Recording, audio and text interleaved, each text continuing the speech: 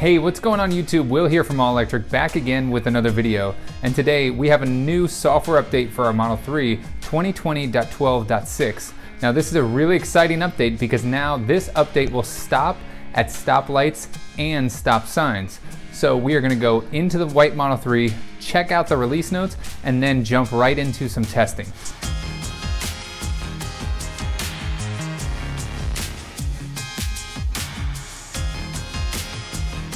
Huge thank you goes out to Akrama Tool, Nicola Pro, and Daniel Jelling supporting this channel at the all electric tier. Click the link down below and support this channel for as little as a dollar a month. Let's check out these release notes for 2020.12.6 so we can see traffic light and stop sign control. And of course, this is beta. There is nothing else new. We have dash cam viewer, which we got in the last software update, and out of order supercharger stalls.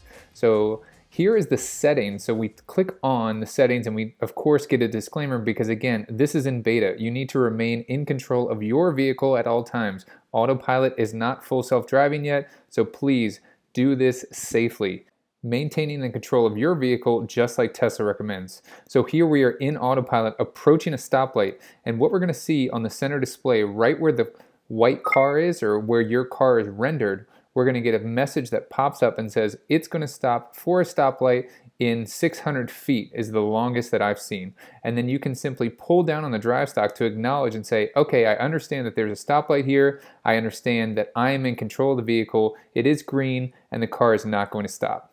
So here we can engage autopilot on another major road and we are going to get the same message saying that the stoplight is there. It is green, but we have to acknowledge every green light now, this acknowledgement from the driver helps to validate this new software and gives valuable information back to Tesla. So here we have another green light approaching and you can see from way, way back, I'm able to validate that there is a light coming and I am eh, still paying attention, similar to what they did with the early version of Navigate on Autopilot. During lane changes, they required that you pull down on the drive stalk or acknowledge the lane change during each change before they went through several software updates and then the changes became automatic like you just saw in the video. So here again, I pulled down on the drive stalk to acknowledge that there is a traffic signal coming up and I'm still in control of the vehicle. Now this is not 100% and here's a great example. Exiting a roundabout, it thinks it needs to stop up here and you can see that by the red line that appears on the center display and then I simply push the accelerator to kind of override that and I'm back in control of the vehicle. In autopilot here, approaching my first stoplight with no other vehicles. And you can see that the autopilot is telling me that the light is red. So I don't need to acknowledge anything right now because the car is going to come to a stop just like I want it to.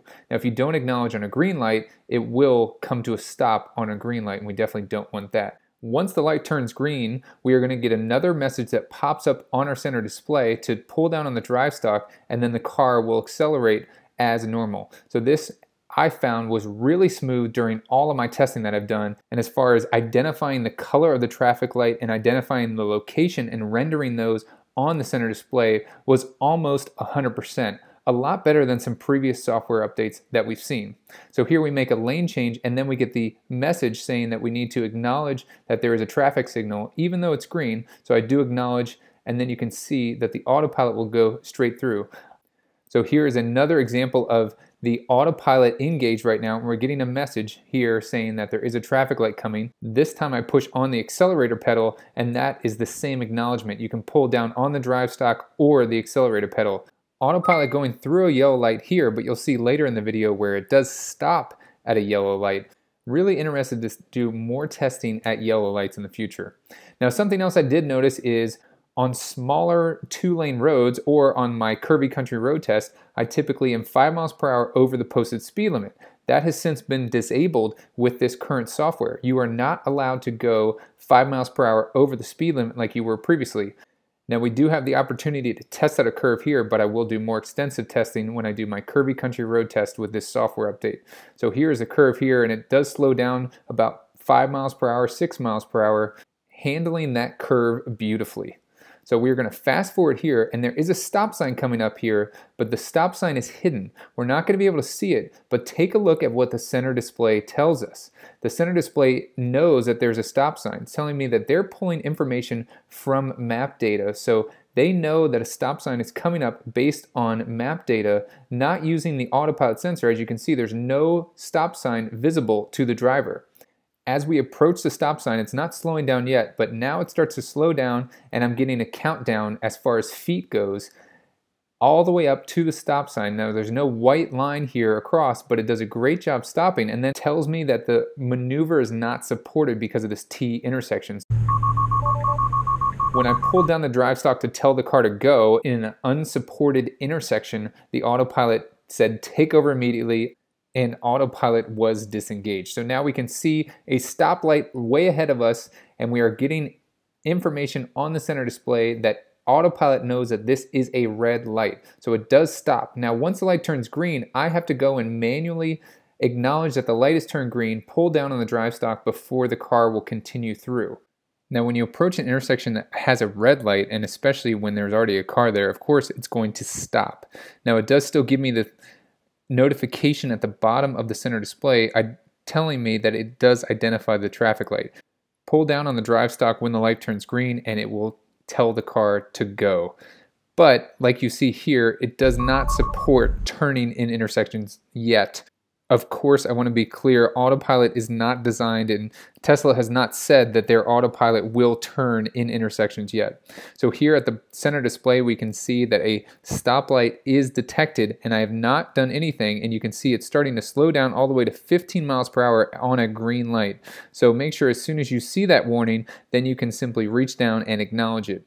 Here I see that the traffic light is red, so I don't acknowledge it, knowing that the car is going to come to a stop and there's already stopped traffic in front of me. But as you can see, the light is going to turn green here shortly, and then I have to acknowledge pulling down on the drive stalk. Once the light turns green, I get that message on the center display. I pull down on the drive stalk, and then autopilot will begin to accelerate. Through my testing, I've definitely found it best to acknowledge that the traffic light is there as soon as you get the message so that your car doesn't slow down when there is a green light. Now, with that being said, be prepared to pull down on the drive stalk quite frequently. So, in my testing, I had to pull down on the drive stalk a lot, and it felt like I was doing it all the time. All of this input is valuable data to Tesla to help validate the software and help the autopilot system advance rapidly. So you can see here is an example of where it does stop at a yellow light when I'm pretty far back. If you pull down on the drive stalk when there is a red light, the car will start to accelerate. So here I had to push on the brakes so the car would stop because as you can see, the light is still red. So autopilot did disengage when I put my foot on the brake and the car will start moving forward if you acknowledge using the drive stalk too early. So here we are approaching a stoplight and I have not done anything because the light is red and I can see that the light is red and the information on the touch display tells me that the Tesla autopilot has identified the light as red. But here, once the car comes to a stop, I get an interesting message that this type of intersection is not supported. Now we saw this before when we were looking at the stop sign and we got the error message. So let's see what happens here at the stop light. Clearly the autopilot system is saying take over, this intersection is not supported. So when I do reach over and acknowledge, we get this warning message, take over immediately, very similar to what we saw at the stop sign. So it seems that Tesla's autopilot is smart enough to identify when there is an intersection that is not supported, which confirms my suspicion that the public released autopilot software that we're running in this video is sort of dumbed down compared to what Tesla has available to itself, that it's able to identify certain intersections and probably make turns through intersections as well. I want to reiterate just how wonderfully the car is doing with this new software. So here I acknowledge that there is a traffic signal coming up and I am in control of the vehicle, but it is rendering those stoplights perfectly on the center display. So here, let's test some stop signs. So we can see the stop sign and we're approaching it here going 10, 11, now 6, 5 down to 0 miles per hour. Now this is also a T intersection and I, when I do engage, I get the same take over immediately So autopilot is definitely really good at identifying intersections, but it's not 100% yet. Here you can see on the center display that it thought there was a stop sign there. And here you can also see that it thought there was a stop sign right here with the red line going across the screen. Now to just to override these, all I do is press on the accelerator or pull down on the drive stalk to kind of override that phantom stop sign. So similar to phantom braking like we've seen before in previous updates. So coming up to the stop sign, you can see that the autopilot system is automatically slowing down, identifying the stop sign, and as soon as I pull down on the drive stalk, the car will accelerate or acknowledge that it is passed through the stop sign. So it's not requiring that you come to a complete stop, which I'll demonstrate a little bit in the video. So here we are in autopilot approaching a stop sign and it is accelerating all the way down until I pull on the drive stalk and then it will accelerate through. So not requiring that a full stop is done. Here we have a sort of blind stop sign and an unsupported intersection. So it will stop at the stop sign as designed, but then as soon as it comes to a stop and we try to engage, it will say take over immediately because it's hard for the autopilot system to identify where the road is heading. So here we have another stop sign, and again, it does a beautiful job stopping right on the white line. And as soon as we pull down on the drive stalk, it will continue on its path of travel through the intersection. So really beautiful job, especially for the first iteration or the first public release of this stop line and stop sign detection. Of course, it's not perfect yet. You can see it's kind of funky in the way that it stopped here and also gave us a little warning, but with some pressure on the steering wheel, it was able to straighten back out. So not perfect yet. So definitely, if you're gonna try this out in your car, pay attention and you are in control of your own vehicle. We're approaching an intersection that has traffic lights that are on the side, similar to what you see in bigger cities. And the autopilot system is doing a beautiful job rendering all four of these lights. Really impressive and a huge improvement over the last software update. Now as we approach this other intersection, we see that the traffic light is red and so the car is going to stop for us and there's cross traffic crossing in front of us. So a great job and a great example of how well this stoplight and stop sign detection is working. So once the light turns green, then we can pull down on the drive stalk and then the car will accelerate through the intersection in autopilot. So really impressive here and I think Tesla is getting valuable data that is going to accelerate autopilot towards full self-driving where there is absolutely no driver input. But lots more testing needs to be done before we see that.